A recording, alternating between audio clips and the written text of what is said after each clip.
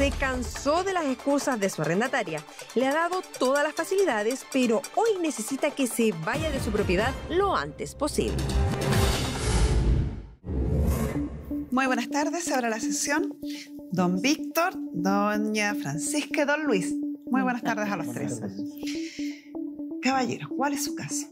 A ver, eh, tengo un arrendatario que ya hace más de un año aproximadamente que no me ha cancelado el arriendo. Ese es el, el caso pri- principal. Eh, de esta de mayo del 2019. ¿Y cuánto es el arriendo mensual? 180 mil pesos lo que corresponde a contar de marzo del 2019 en adelante. ¿Y le ha dado alguna explicación? Eh, La única explicación que he recibido es que mm, no tiene, está mal económicamente, eh, no me ha dado más explicaciones. Es decir, yo le di la alternativa que llegáramos a un acuerdo sobre el arriendo que estaba y, y partiéramos de cero, la cual tampoco accedieron. Le solicité que me entregaran la propiedad, tampoco eh, me han entregado la propiedad. Partir de cero era darle un perdonazo por decir, de la Exactamente, deuda llegar a una- un acuerdo por lo que me deben y partir de cero. Obviamente con un contrato porque no tenemos contrato. Es verbal solamente. Exactamente, el verbal. verbal. Exactamente. ¿Y hace cuánto tiempo que le arrienda, le arrienda ese lugar? A ver, esto se viene, eh, esta propiedad yo la compré el 2014, la cual estaba arrendada, estaba el papá de, de acá, ellos estaban habitando la propiedad. Mientras ellos estuvieron a cargo de la propiedad no tuve ningún problema. Ellos se hicieron cargos a contar del 2016. De ahí empezaron los problemas. ¿Qué explicación hay, caballeros? Buenas tardes. Eh, bueno, no es que yo nunca le di explicaciones, yo le dije, yo empecé, nunca me atrasé los arriendos y él lo sabe muy bien. Nunca, porque yo trabajaba económica, yo tenía una economía buena. Yo trabajaba, estuve trabajando nueve años. Lamentablemente el año pasado quedé sin, sin trabajo y tuve que dejar mi pega por circunstancias mayores que pasaron, pero no es que yo le diga, no, yo no quiero pagarte el arriendo. Y él lo sabe porque yo hablé con él, ha ido él, sí ha ido varias veces a- por el arriendo. Y yo le dije que lamentablemente la situación económica de cuando yo dejé de trabajar, porque cuando falleció mi papá, yo me hice cargo de la casa. Yo pagaba la luz, pagaba el arriendo sin ningún problema, porque yo a mí me alcanzaba, porque yo vivo con mis cinco hijos y más mi mamá. Y resulta cuando falleció mi papá, yo me hice cargo porque tampoco podía dejar a mi mamá sola. Y lamentablemente en ese momento yo me escribí para subsidio porque yo quería tener mi casa y yo había, incluso él me había dicho que pues yo podía comprar la casa por subsidio. Un día llegamos, estábamos hablando. Entonces yo fui a ver las gestiones y como yo tenía un sueldo que era arriba de 500 mil pesos, a mí no me hicieron el subsidio por ser mamá soltera y porque no podía sacar un subsidio por tener esa cantidad de, de, de ¿cómo se llama? De liquidación. Y de ahí, de ahí del año pasado empezaron todos mis problemas. Que sin trabajo. Pero ha pasado un año. O sea, Sí. Uno entiende y por supuesto No, que en la vida tengo. real ocurre en estos casos de que las personas pierden el trabajo o hay una situación económica apremiante durante la, la vida. Sí. Más de una incluso. Pero lo que no se entiende es que haya pasado un año. Es que después yo en febrero quedé embarazada. Es más allá de los problemas que haya usted tenido, no puede ras- traspasarle sus problemas. No, si yo lo tengo más que claro. Y él, va, yo tampoco es porque yo no quiera ir, va, que me quiera quedar con la casa o porque tenga que no me quiera ir. Yo también hace dos meses atrás yo le dije que sí, había encontrado una persona para arrendar y todo, pero la, la- el arriendo me salió súper caro, entonces no tenía, porque yo tu, hace, cuatro, hace cuatro meses... Usted comprenderá que todas estas explicaciones, por muy atendibles que sean, no le solucionan el problema. No, sí, a eso lo Víctor. tengo claro. Yo, va, estoy consciente de todo. Entonces, Yo tampoco me quiero hacer la loca y dejar todo ahí y que él me, me haga el perdón. Y eso hace dos semanas él fue y me dijo que me hacía el perdonazo, todo, pero que yo tenía que tener una cantidad de plata Ujú. y empezamos con un arriendo, con contrato. Ujú. En esos seis años yo empecé a arreglar la casa, porque la casa estaba en muy mal estado. Toda la casa. Hice todo. La, eh, cambié ventana, puse protecciones, puse a- afuera, pavimenté, en la cocina puse el- Cerámica. cerámica. ¿Le Eh, pidió autorización al dueño para eso? Es que había, antes había otra dueña. ¿Y a la otra dueña le pidió autorización? Eh, yo le dije que iba a hacer unos arreglos cuando estaba mi papá, porque mi papá no quería hacer arreglos. Esa es su propiedad, Sí, a la que usted está habitando. sí. El portón lo hice de Estos nuevo. arreglos entonces los habría hecho mientras la casa era de otra persona. Eh, sí, y entonces no lo tiene, otro arreglo, entonces no tiene relación con, valga la redundancia, No, con la relación que usted debe tener con Don yo empecé a hacer los arreglos en el 2016, cuando antes que falleciera mi papá. Fue como unos tres meses antes, O sea, mientras él era el propietario. sí. ¿Y le pidió autorización a él entonces? Una vez mi papá le, creo que le dijo que iba a arreglar un poco la casa y él La le dijo que él no podía, va, él no iba a arreglarla. Si él quería vivir, uno quería vivir bien, que ser- uno tenía que Exacto, hacerlo. la autorización debe ser expresa.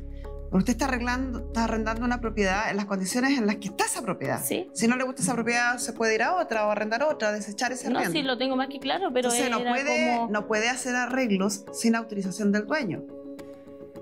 Pero es que de verdad que la casa estaba como muy, muy mal estado. Insisto, Entonces uno... es su opción arrendar ahí o arrendar otra casa, otra propiedad. Yo no puedo eh, arrendar una casa y decir, sabes que no me gusta, esto le voy a construir un estacionamiento, un jardín, voy a poner una piscina y después se la cobra al dueño. No se puede. no se sí lo debe. Si no, es bajo su propio riesgo. Sí, pues y el riesgo es harto, porque al final igual invertí harta plata en esa casa, entonces al final... Pero es un Ahora- riesgo que usted asumió a sabiendas, sin pedir permiso, sin la autorización. Es más, según lo que usted me acaba de decir, en la conversación con su papá, don Víctor le habría dicho que él no quería arreglos, que no quería que se hicieran mejoras en la propiedad. Entonces lo hizo contra la voluntad del dueño, lo que por tanto no le da derecho a que él le reembolse nada. Pero él sabe, él sabía de, de que cómo estaba la casa y yo también le dije como dos veces, tres veces de que la casa la, se estaba arreglando porque al final uno, bueno, yo para mí eh, mi forma de ser va de pensar, si tú estás arrendando una casa es para que tú la tengáis bien. No es porque vaya a arrendar una casa, la vaya a desertira o la va- no la vaya a pintar o no la vaya a arreglar, hacer algunos Por arreglos. supuesto, pero más allá de lo que usted piense, hay un marco legal en el que uno no tiene que moverse.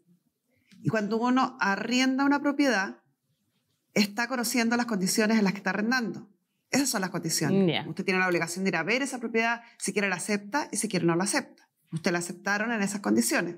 Si usted puede, quiere hacer mejoras, hay que determinar qué tipo de mejoras son. Si esas mejoras son esencial para el funcionamiento de la casa, por ejemplo, si hubiera roto una cañería, es obligación de él arreglarla, porque la casa tiene que tener agua. Pero si usted quiere cambiar, como me dice, las rejas, la puerta, el piso, pavimentar, que son mejoras voluptuosas que se llaman según la ley, que aumentan el valor de la cosa, necesita imperiosamente la autorización del dueño. A mí la única autorización que me pidieron para poder intervenir fue eh, para cambiar parte del techo de la propiedad. Y eso fu- fue, eh, se lo autoricé a la, a, a la anterior pareja de ella. Y él mismo lo hizo. Y eso tengo constancia acá que se hizo y quedaron Mm. las conversaciones en WhatsApp. También quiero eh, agregar que esa propiedad cuando yo la compré el 2014 estaba, perdón, estaba el papá de ella, estaba eh, tres arrendatarios más. Entonces, eh, mi intención nunca fue de poder eh, echar los arrendatarios, porque yo no compré la, casa con el objetivo de arrendarla. Y por eso fue que le di la opción a ella de, de comprar la casa cuando el 2016 con, con su antigua pareja, porque mi intención no era seguir arrendia- arrendando. La casa principal la tiene ella, pero hay piezas que se, se subarrendaban. Entonces, esos arrendatarios se fueron yendo y ya a la actualidad queda solamente eh, Francisca con eh, otro arrendatario más, que son los dos que quedan. Y hay problemas más que, como ellos vivían dentro de la propiedad, Francisca se ocupaba de cobrarle eh, los, los costos fijos a, las de- a los demás arrendatarios. Luz, agua. Correcto. Y una arrendataria que se fue en noviembre me advirtió que habían hecho repactaciones del agua, el cual no la pagaron. efectivamente eh, ellos fueron cobrándole a los demás eh, inquilinos que estaban y no pagaron el agua. ¿Eso Y es así? Y hasta el En día noviembre la, la vecina ella no pagó, porque ella dijo que sí iba a ir. ¿Cuánto se debe de luz y agua? No, de luz está, ahora se debe los dos meses nomás, porque yo pagué, el, el mes pasado pagué 70 y algo ya, 79. Y de agua estoy atrasada. ¿Cuánto? Pero no es porque, ¿Cuánto? no sé realmente porque no he ido a ver el, el estado del agua. de hoy, 315.700 pesos de, de agua se deben, eh, incluido la, repo- la repactación que se hizo anteriormente. Hablé con el- la persona que está arrendando las otras piezas y él le pagó este mes, el mes anterior y todos los meses sucesivamente le ha ido cancelando el consumo que, que ellos tenían. ¿Cuántas es- personas más arriendan ahí en esta propiedad? Ahora queda solamente un arrendatario más que vive solo. Hasta noviembre habían... ¿Por qué eh, no pagó dos. los servicios si las otras personas que vivían ahí pagaron su parte del Porque servicio? yo pagué. Lo que pasa es que ahí en esa casa hay un sobreconsumo de agua. Porque había, yo siempre le, le dije, porque ahí nadie no va, nadie No estoy preguntando cuánto gastan, porque la suma que gasten se divide seguramente entre Sí. los arrendatarios. la Yo lo los divido otros- siempre en dos personas Ya. porque Si, nosotros si somos el más. otro arrendatario ha pagado su parte, ¿por qué no están pagados los consumos? En noviembre la vecina no pagó. El vecino en noviembre me iba a pagar y me dijo que no porque don Víctor lo había llamado que eh, no, yo no había pagado nada. Pero Yo igual le le dije, pagó. ¿sabe? Yo lo ¿Sabe llamé lo el que día pasa? de Es que ayer. no, no lo he pagado porque no he tenido para pagarlo. Entonces ahora tengo que ir a ver. Pero ha aceptado el dinero de las otras personas. No le he aceptado el dinero de las otras personas. Lo que está diciendo el otro arrendatario. Y el otro le- arrendatario, ¿por qué habla si él se está yendo? lo En que la noche se fue. da lo mismo si se fue. por eso le digo. Señora, entonces- esto es una conversación. Hay otras personas viviendo ahí que dicen haber pagado la cuota que les correspondía a usted. Hay dos opciones. O les devuelve el dinero o paga la cuenta del servicio que se debía pagar. Pero no existe otra opción, una tercera opción de que páguenme a mí, me quedo con la plata y no pago la cuenta. yo no te va, yo nunca he hecho eso. Es lo que dicen que ha pasado. Por el eso le estoy último pago que, re- eh, que realizó del agua fue en octubre cuando yo le di aviso que me dejara la propiedad. De ahí en adelante no ha pagado absolutamente nada. Fue en noviembre. Las boletas de, de agua dicen lo contrario. ¿Y usted, caballero, cuál es la relación con el tema? ¿Cuál es su relación con este tema?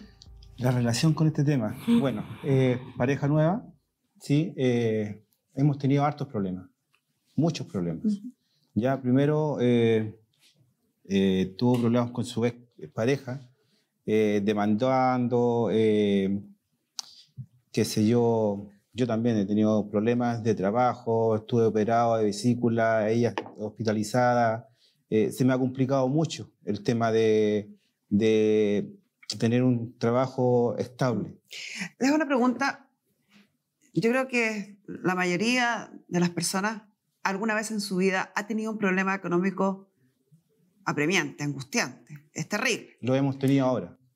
Pero cuando uno eh, inevitablemente tiene deudas con, con otros, con terceros involucrados, trata de pensar cómo ir solucionando algunos. No todos, porque se hace imposible, hemos- pero algunos. Es ¿Qué, hemos qué hecho. solución han pensado ustedes respecto a don Víctor? En- mire, incluso Don Víctor la semana, ¿cuánto fue? ¿Dos semanas Dos atrás? semanas atrás. El dos o tres, 17 de dos o enero, tres semanas eh, atrás estuvimos fue a la casa, Ujú. fue a hablar con, con ella y le dijo que eh, iba a hacer, o sea, quería hacer un, ¿cómo le dijera? Un acuerdo Un para buen acuerdo. Sí, pero Ya. eso se le ocurrió a él. Estoy, estoy preguntándole a la inversa. ¿Qué solución han pensado ustedes Yo se lo dije, mire, está bien con el acuerdo, yo, nosotros le debemos tantos meses, tanta plata, está bien, deme un plazo, le dije yo, para pedir un préstamo en la que incluso se lo dije a él, para yo eh, pagarle lo que le debemos y así empezamos con el contrato nuevo. Ya me dijo, no hay ningún problema. ¿Cuál es su nombre? Me preguntó y le, le dije su- el nombre mío, porque tampoco parece que sabía el nombre mío. Lo cual yo le dije, eh, efectivamente, Y ahí el caballero se dio la media vuelta y se fue. en el fondo, eh, él me dijo que tenía la posibilidad de pedir un, un crédito y me dijo, déjeme verlo esta semana, yo al fin de la semana le tengo una respuesta. Pasaron dos semanas, hasta el día de hoy no me ha llamado. Si usted lograra ese crédito, ¿es para pagar la deuda o abonar a la deuda que tiene? ¿Y cómo Anterior. va a seguir pagando los meses que vienen por delante? Es que resulta que como estoy trabajando, yo recibo un- un- una plata mensual. Por eso le estaba Y diciendo yo estoy que- trabajando en la casa porque tampoco puedo quedarme toda la También. vida de ma- manos ¿Y cruzadas. por Yo ahora no, puedo trabajar. el mes que recién pasó, por ejemplo? A ¿Qué ver, cambió entre el mes pasado y este que podría dar una solución este mes?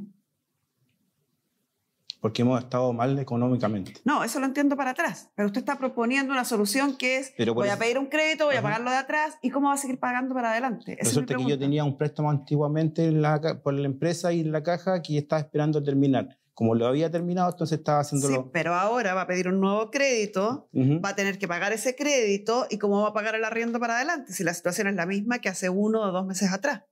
Por eso lo está, por, por lo mismo, porque resulta que yo ya terminé un crédito, voy a pedir otro y voy a seguir con el sueldo que, que tengo. No, me está entendiendo. Sí, sí, lo estoy Y, entendiendo. y señora es importante porque si no, la solución que usted está planteando no tiene asidero en la realidad. Se hace una solución imposible. Vamos a poner de ejemplo noviembre, diciembre, enero. Usted dice que en noviembre no había plata para pagar el arriendo porque el dinero o la situación económica en la que están es compleja.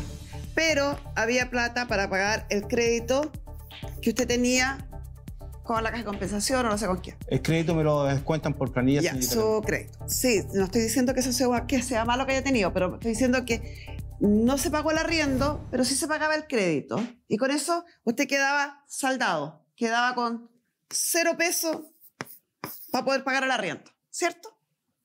En diciembre fue igual, no se pagó el arriendo porque no había dinero, pero como le descontaban el crédito, el crédito sí se pagaba. Y la suma de dinero era cero está planteando que a partir, supongamos, de enero, febrero, marzo, cuando sea, usted va a abonar al arriendo, que es un abono a la deuda. Va a tener que empezar a pagar el nuevo crédito. ¿Cierto? Sí. ¿Y con qué paga el arriendo del mes si estamos en una situación exactamente igual que la que había acá y la que había acá? Vamos a que quedar igual. estamos- O sea, va a a la deuda, y, pero sin pagar el arriendo mensual. Es que de, va, ahora todos los fines de semana yo estoy haciendo cosas para vender en la casa. ¿Y eso desde cuándo? De hace dos semanas. ¿Y cuántos ingresos le produce eso? ¿Han sacado las cuentas? Sí. Eh, sí, son como 60 mil pesos que los deja de... Pongámosle número a esto. Ah, bueno, bueno. ¿Cuánto es lo mensual que tendría que pagar por el crédito que va a solicitar? Como 110 mil pesos. ¿Y eso le permitiría quedar en cero con la deuda con don Víctor? Eh, no en cero, porque yo pensaba el crédito que me, me otorgaban era, eh, que me están otorgando es de 600 mil pesos. Y el, Pero el- usted debe más de dos millones de pesos. un billón ocho. Un millón seis cuarenta aproximadamente. Un billón seis. Más luz, más agua. Correcto. La luz, Sí. va, el agua ahora la voy a pagar. No sé, estoy diciendo la suma que es hoy. Pero por eso estamos trabajando en la casa también. La suma que es hoy supera los dos millones de pesos. Entonces, usted va a abonar cosa- 600, va a quedar un millón cuatro en favor de don Víctor. Y además tiene que pagar el arriendo que era de 100, 180. A contar de marzo del 2000. 180 mil. ¿Y por qué te estaba cobrando? Y considerando que ese. Solo ahí hay 290. Solo ahí. Pagando el crédito que va a pedir y pagando el arriendo mensual son 290 mil. Y una deuda que se mantendría de cercano a un millón cuatro. Ah, ¿Por qué hago esto? No es crueldad. Esto es para ver qué tan posible, qué tan real es la solución que ustedes le están proponiendo a don Víctor. Porque suena retóricamente, claro, yo pido un crédito, abono las deudas, sigo pagando el arriendo. ¿Lo van a poder hacer? ¿Cómo van a proponerle a él seguir pagando o abonando a este millón cuatro? Abonándole 100 mil pesos si estamos trabajando en la casa. sumamos entonces lo, 100 estam- lo estamos haciendo, sumamos 100 mil pesos más. O sea, aquí llegamos ya a los 390 mil pesos. lo estamos haciendo una, una caja de tre- eh, 60 mil pesos semanales. Aquí hay 390 mil pesos ya mensuales que ustedes tendrían que tener solo por ítem arriendo. Y con eso pago de un crédito, pago del arriendo y aboro la deuda. Y con eso lo alcanza, con lo que hacemos en, la- en los fines de semana, con eso lo alcanza para Falta hacer, un solo punto. para hacer eso. Falta un solo punto. Si usted va a pedir 600 mil y debe casi 500 mil en luz y agua, va a abonar a la deuda solo 100 mil. Eso quiere decir que al millón ocho que le deben de arriendo, usted lo estaría pagando en 18 meses. Y esa prerrogativa de aceptar o no aceptar esa propuesta de pagar en 18 meses la deuda de arriendo es de don Víctor. Y es lo que conversamos la última vez cuando yo le ofrecí llegar a un acuerdo, que me pagaran completamente lo que me estaban adeudando y partiéramos de cero, porque bien yo le arriendo la propiedad en un valor inferior, que es más o menos el 50% del valor que se debería arrendar esa propiedad. Ah, encima. Entonces, ni con eso no, no cumplieron el arriendo. Entonces, por eso yo le exigí que me hiciera abandono de la propiedad en octubre, la cual ella me dijo que en enero se podía ir. Sí. Y eso, lo- y eso no, no sucedió. Es que de verdad que no he tenido, no sé. Ahora la qué- qué propiedad más vale mucho no más de sé. lo que eh, pagan ellos. La propiedad, eso, los arriendos. Señora, ahí. Si Yo tampoco está- me si quiero usted quedar con la está- casa de él y todo. Si- si Imagínense, está tuve mis proponiendo- gemelas, son prematuras, me encima tengo un hijo que se me metió la droga todo el año, entonces han pasado tantas cosas. Es que al sumamente final- lamentable lo que usted cuenta, pero si usted está proponiendo invertir casi 400 mil pesos mensuales solo para ir abonando a una tremenda deuda que tiene, ¿con qué capacidad económica podría seguir don Víctor esperanzado en que usted cumpliera con este compromiso? ¿No será más lógico reducir el gasto eh, por concepto de vivienda y irse a otro lugar que usted sí pueda pagar tranquilamente y devolverle a la casa de don Víctor que lo tiene tremendamente angustiado porque además él vive de ese arriendo, no es que esto sea un hobby para él, es parte de sus ingresos, es parte importante de sus ingresos. Yo cancelo dividendo por, ese, eh, por esa propiedad y ella lo sabe. Y aún ahora más, imagínese con el recién- problema de que el hijo tiene, los otros inquilinos se fueron. Porque el, el- el- el hijo de ella se entraba a las, a las piezas de, de ellos y se perdieron varias cosas. Entonces lo- los otros inquilinos eh, optaron por dejarla. ¿Qué cosas se otras. perdieron si mi hijo, cuando él salía afuera, eh, yo pasaba todo el día? El año pasado yo pasé todo el año en la casa porque como quedé embarazada, yo tuve que hacer reposo absoluto. Y cuando él salía, él se perdía cuatro días. La niña Y que él se llegaba fue, en la noche. Y si la vecina dice que usted se fue, ella se fue porque ella encontró su, su pareja, no es porque se fue por el Es que lo Y usted lo tiene claro. Sí, lo que me- a mí me no es dijo porque la, mi hijo le robó arrendataria o anterior. se entró a la casa a robarle, porque es mentira eso. Eso es lo que me dijo y así está, eh, también hay una constancia en Carabinero, que Carabinero se hizo presente en la propiedad asunto de lo mismo. Y por lo mismo, cuando fue carabinero, yo le dije, yo no encubro a mi hijo cuando él se manda a c- Él lo tiene más que claro. Yo soy la primera que voy y Es que enfrento sí, se como le- son. le- Entonces, cuando fue carabinero- El computador de su propia No, hija cuando fue carabinero y fue por supuestamente don Víctor, porque fue por don Víctor, no fue por nadie más. Porque él, él llevó a carabinero. Correcto, eso fue después. Sí. Pero cuando pasó, ¿qué cosa? ¿De Es la vecina? es correcto, con el arrendatario actual eso pasó después cuando llegó Carabinero, pero antes la, la niña anterior no hizo ninguna denuncia. Ah, no, y pero... ella se fue. Ya, pero por- que usted por- ahí por no había mismo. llegado y nosotros tampoco habíamos llegado. Nosotros recién eh, habíamos llegado cuando le robaron el computador. Correcto. Ya, esos fueron los otros arrendatarios que ella tenía al lado. Es que para no que había más se informe. arrendatarios. No, como que no, sí. Oiga, yo vi, ¿de cuándo? Usted llegó al 2014, ¿cierto? La niña recibió No, el no. computador antes. Eso fue. Un eh, año antes y el- la- el los vecinos pasado. de al lado. Y mi hijo tenía cuánto? Doña Francisca, sinceramente, ¿usted espera que después de esta conversación que, acabamos de ver y de presenciar y escuchar todos, don Víctor va a tener ánimo de otorgarle a usted alguna facilidad para que siga Yo viviendo no le estoy en la diciendo casa de que me don dé Víctor? así como, ay, que me le dé le dé lástima o le estoy dando lástima, porque de verdad que yo no necesito que nadie eh, Creo eh, que, lástima de creo nadie. que lo que ha hecho y lo que le estoy diciendo es todo lo contrario. Es- Pero es que yo estoy todo lo hablando de los argumentos que de verdad son, porque si pusieron Eh, una demanda. Señora, señora, no incluso- estoy hablando de eso. No estoy hablando de eso. No es la materia de una investigación policial, no tengo idea. No es el tema acá. Lo que creo que usted no tiene claro es que don Víctor es el dueño de esta propiedad. No, si lo tengo claro. Yo no le estoy diciendo que yo soy la si dueña me de la escucha casa. un segundo, él es el dueño de la propiedad. Si alguien que no es su familiar, que no es su hijo, e incluso si lo fuera incluso en alguna ocasión, viene a pedirle que le haga un favor de dividirle la deuda en 18 cuotas, de pagarla de a poco, ¿usted cree que el tono con el que se pide ese favor, que es lo que acabamos de escuchar acá entre ustedes, va a propiciar a que el caballero tenga ganas de hacerle ese favor? Entonces, ¿qué saca con decirme si tengo claro que es el dueño? Bueno, compórtese acorde a lo que supuestamente tiene claro. Porque si usted tuviera claro que él es el dueño, que tiene todo el derecho a recuperar su propiedad, que tiene todo el derecho incluso a esta- establecer una demanda para de- desalojarla a la propiedad. Si lo que usted pretende es pedirle un favor, ¿usted está de acuerdo que esa es la forma de pedirle el favor?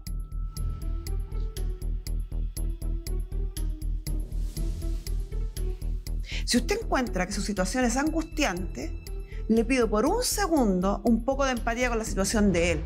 Imagínese lo que debe ser para mucha gente, lamentablemente es muchísima gente que con esfuerzo, con trabajo, ha logrado adquirir una propiedad para que venga un tercero, se instale en la propiedad y no pague ni un peso por esa propiedad. Durante un año. No estamos hablando de unos meses, de una situación transitoria, estamos hablando de un año. Y más encima, después de un año, en vez de decirle, por favor, don Víctor, discúlpeme las molestias que le estoy que provocando, usted lo increpa a él y lo reta a él. Señorita Carmen se la, se la ha dicho dos hay veces. paciencia que alcance, pues. Señorita Carmen, dos veces se le ha hablado con él y se le ha pedido. Hasta el infinito debieran hablar con él. Hasta el infinito. Pero por eso. Ya me- ya- a mí me gustaría Dos ver veces. cómo, cuántas veces exigirían ustedes o cuántas veces, cuánto tiempo tendrían paciencia ustedes si el bien que tuvieran secuestrado y no entregado fuera de propiedad de ustedes. Y aún más. Por lo que eh, estamos pasando, yo creo que tendríamos más paciencia que. Sí, Ah, todos, todos dicen lo mismo. Sí. Para la hora de los que hubo, ni siquiera van a dar dinero para la Teletón. Yo estoy preocupado por la propiedad porque he visto que hay mucho flujo de gente en esa propiedad. Señor, ni siquiera tiene que dar explicaciones. Es su casa. Es El- que eso es lo insólito que, que termina ocurriendo. Es lo que me- finalmente el dueño termina dando explicaciones de por qué quiere recuperar algo que es de él. Lo que me preocupa es que ha llegado mucha gente. No sé si es familiar de ella o ella está subarrendando las piezas que están desocupadas. ¿Qué gente ha llegado? Entonces, si las llaves las tiene usted, ¿cómo vamos a, su- Es vamos que, a la- arrendar la casa? el- es que con todo lo que han hecho ya no me espero nada. ¿Y qué, le- qué le Entonces- hemos hecho? Oiga, le he arreglado la casa. ¿Qué más quiere? He gastado cualquier Entonces, plata yo en quiero- su casa. Se le ha gastado Quiero que como ella 5 diga millones qué de pesos arreglando gente está viviendo en la propiedad porque definitivamente... Dígale a don Víctor, pregúntale a él quién está. Si alguien la está arrendando la pieza al lado. En vez de arreglar la casa, debieron haber pagado el arriendo.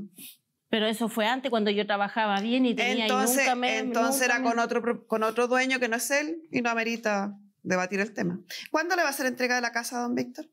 Cuando tenga dónde irme. No, eso no sirve. Pues cu- cuando tenga ¿Y qué ganas. quiere Es que me vaya con que mi gemela a la calle? Es su responsabilidad. No mía, no de don Víctor. ¿Dónde se va? Es su responsabilidad. Y ahí las cosas que hice en la casa, las En- dejo ahí. En pago de todo lo que debe, señora. Pero yo gasté casi 5 millones de pesos. Ya le En dije, esa casa. pruébelo. Pruébelo en un tribunal y lo cobra. Ahora es su palabra contra la palabra de él. Es más, usted misma aseveró que los arreglos habían sido acordados con el ex dueño de la propiedad. Vaya a cobrarle a él, no a don Víctor, no corresponde. Porque cuando él llegó, él sabía que y porque la- él, Él sabía compró que una estaba- casa en el estado en que estaba. ¿Quién había hecho los arreglos? No es tema de él. ¿Cuándo va a entregar esa casa? Cuando tenga un- una casa donde Eso es poco serio. Eso puede ocurrir en 20 años más. Hay gente que No, fallece estoy sin tener nunca una casa. Eso no yo me estoy moviendo en la municipalidad rápido por lo mismo. porque Maravilloso. Entonces usted me puede dar una fecha seria, real. Tres meses, por favor. A mí me, mire, a ¿Tres mí me meses, dieron caballero? Sí. Tres meses. Tres meses me parece prudente para que puedan con tranquilidad eh, mudarse sin causar perjuicios a nadie. Don Víctor, de todos modos yo le voy a recomendar que inicie la acción de precario en los tribunales civiles. Le vamos a dar las indicaciones de cómo hacerlo. En tres meses, cumplido el plazo a contar de hoy, la producción de nuestro programa va a ir a recibir las llaves de esta casa para entregárselas a don Víctor. En ese minuto, como espero cumplan la palabra empeñada, si ha presentado la demanda de precario, que espero que así sea, la puede retirar. Se puede desistir de la acción en el minuto que usted quiera. Recibimos las llaves, al otro día usted se desiste de la acción. Y si no, si por alguna poco probable razón, yo creo que no va a pasar, en tres meses no cumplieran para entregarle la casa, usted ya va a tener el juicio tan avanzado que lo siguiente va a ser el lanzamiento con auxilio de la fuerza pública. Un acto muy desagradable que nadie quiere pasar por ello y nosotros esperamos que usted lo pase. Así que en tres meses vamos a estar con el equipo de producción de nuestro programa recibiendo las llaves y entregándoselas a don Víctor como corresponde. Y con esto cerramos la sesión.